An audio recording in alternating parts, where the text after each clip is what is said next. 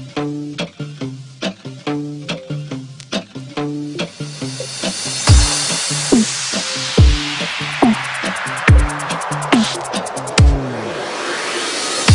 and then I think of when we were together.